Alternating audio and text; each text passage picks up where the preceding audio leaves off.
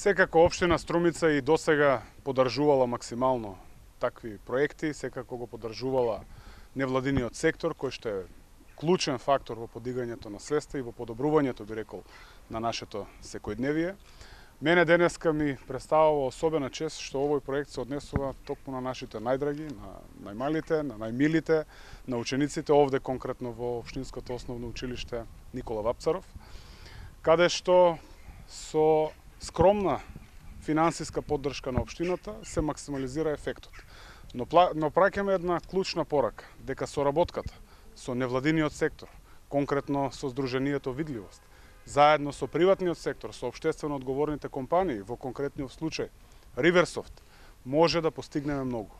Овде во основното општинско училиште Никола Апцаров денеска се донирани 10 прочистувачи за воздух за 10 училници и секако пред во периодот кога очекуваме загадувањето на воздухот да расте, тоа е нашата грижа, тоа е начинот како треба да соработуваме.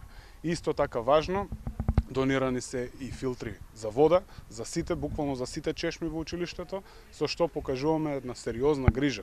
Сите заедно кон децата, кон учениците.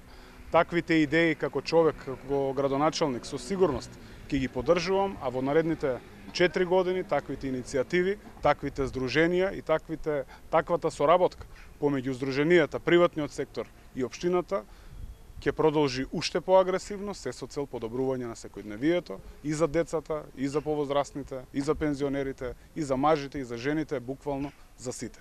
Тоа е начинот на кој што ќе си ја направиме струмица уште подобро.